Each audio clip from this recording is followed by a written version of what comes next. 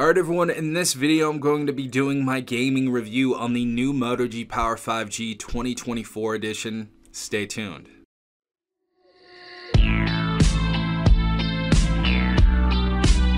Alright everyone, hopefully you guys are having a good day. Hopefully everyone is safe out there. We have a few video games that we're going to be testing on here. Of course, we have Genshin Impact, the last one we're going to be testing. The second one we're going to be testing is PUBG Mobile, and the first is going to be Call of Duty Mobile. Now, before I start any video games, I want to tell you what type of internals we have inside of here, and I want to tell you the pros and cons about it. Now, on this $299 device, we do have the Dimensity 7020 which isn't the most powerful processor out there. It is a newer processor, but it's really not that powerful of a processor. So video games, you know, like Genshin Impact, I don't think are going to be playable on medium settings. But we're to see if they can limp by on low settings and stuff like that. But uh, you know, I don't, I, I don't think for the most part video games are going to look crazy or amazing or anything like that. If you guys are looking for a good alternative that's actually cheaper and you want a better gaming device, the OnePlus N30 5G is out on Amazon right now for $249. So that's $50 less than this device, and you get a Snapdragon 695 5G processor inside of there. And obviously, there's other phones that you can get as well. Let us know in the comment section down below all of the people that have a better phone than this. If you guys can recommend something better, let the people know in the comment section down below. But if you are set on buying the new Moto G Power 5G 2024 right here, what you can expect in here is 8 gigabytes of RAM, which is actually pretty high for $299. I don't really see that a lot. I think most of people can agree in the comment section as well. I don't think we really see that on $300 devices that much. We also, of course, as I said before, a Dimensity 7020 in this device. We have a 5000 milliamp battery capable of turbocharging at 30 watts. So that's even more wattage than the Galaxy A55 which is like a $500 device almost. So that's great that we see that in here. We can also charge at 15 watts wireless charging, which is something that we've never seen on this device. Amazing to see that this year as well. And if you guys are, you know, hardcore gamers, this battery is going to last you a long time. And if you guys are moderate users, you guys can easily pull a two air with this Moto G Power 5G. So those are the pros and cons about the video games on this. Now we're just going to get into some real world use and actually play the video game. So Let's go ahead and start off with Call of Duty Mobile first. Alright guys, so we're finally booting up a game right here and as you guys can see in our settings for audio and graphics, we have our graphic quality at high and we have a frame rate at very high right there. So let's go ahead and see how this looks.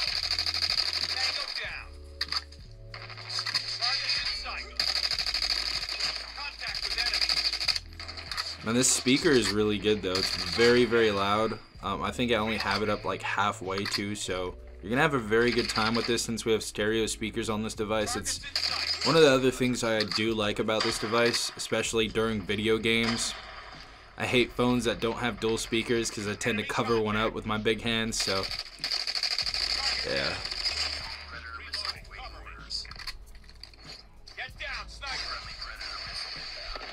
Ah, totally missed that. But this game, plays perfectly fine. Totally fine.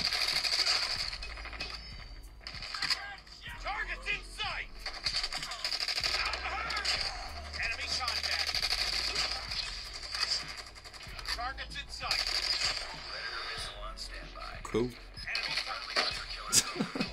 Alright guys, so we are now on PUBG Mobile right here. Uh, as far as our graphical settings, we are going to be set to HD on here as you guys can see right here and our frame rate is going to be set to high. So I'm gonna see how this looks. So far the textures and everything look fine.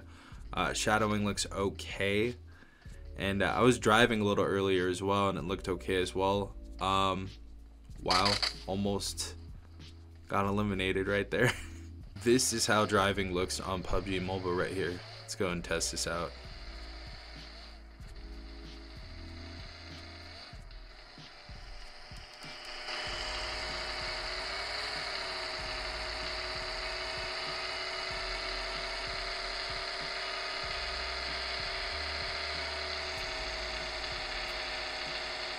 Oh snap.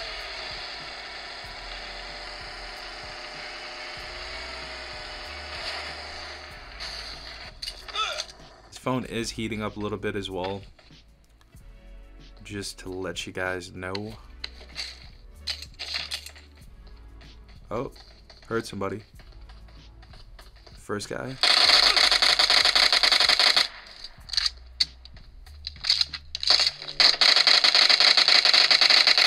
Nah, G. Nah. so recoil wasn't that bad. Didn't really uh, lag or glitch or anything like that. So looking fine so far. PUBG Mobile is definitely a playable game, even online. And of course, last but not least, we have Genshin Impact right here. We're gonna go and test this out. Probably gonna work on low graphical settings um, at the highest. So uh, yeah, let's go and check this out. Also, this phone is getting a little bit hot. Uh, I guess it's 43 degrees Celsius uh, in its core temperature. We can also put the performance mode on turbo as well, which we're to go and try on here. And uh, see how this looks. Alright guys, for our graphical settings, we're to go and check these out right now. If we click on graphics, our graphic quality is to be low by default. So it looks like it can run that pretty smooth. So this looks fine so far. Um, it doesn't look great. Absolutely does not look great. But so far, it looks okay. It's playable. It's not going to be the greatest experience, and I don't really even recommend playing this game uh, on this type of phone, but it is a playable game on here. It is going to lag though. It is definitely going to lag. So let's go ahead and take that 60 frames per second. Let's go ahead and drop that to 30 because it doesn't seem like it can handle that that well. Oh, I guess it was on 45. So let's go back to 30 and let's see how this looks. So this looks a little bit better. Still kind of slow though. What up, y'all? Boom, boom, boom.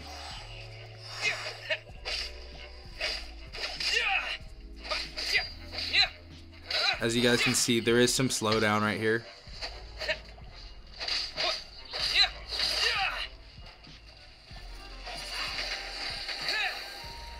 Oh, wow. Okay.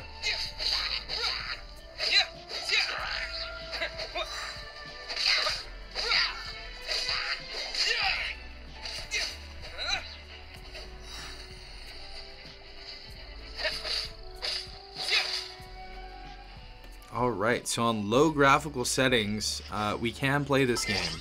However, it is not the greatest experience. As you guys can see, 44 degrees Celsius for our core temperature in here. It's using 62% of the RAM. Not the greatest running for uh, Genshin Impact. As far as like video games though, it seems like it can run PUBG Mobile and Call of Duty Mobile very, very well. So anything at that level and anything under, it should be good.